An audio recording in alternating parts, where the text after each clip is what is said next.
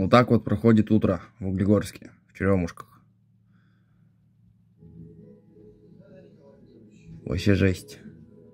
Это уже почти сгорел. Крыша уже упала. Вроде как без происшествий.